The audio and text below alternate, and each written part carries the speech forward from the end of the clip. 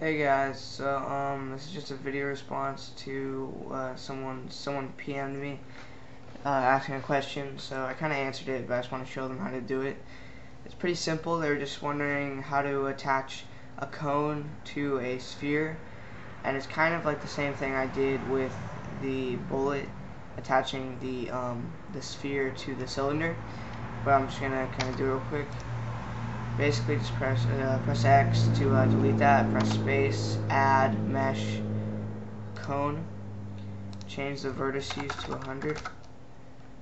So now we have the basic cone, and then we are going to press space, add mesh UV sphere, change segments to 100,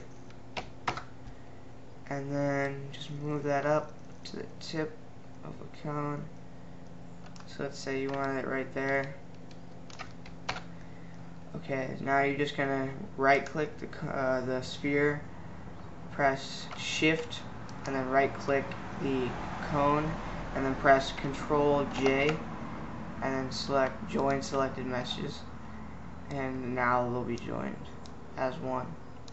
And so that basically works for any object that you just make them touch anywhere and then you can join them together.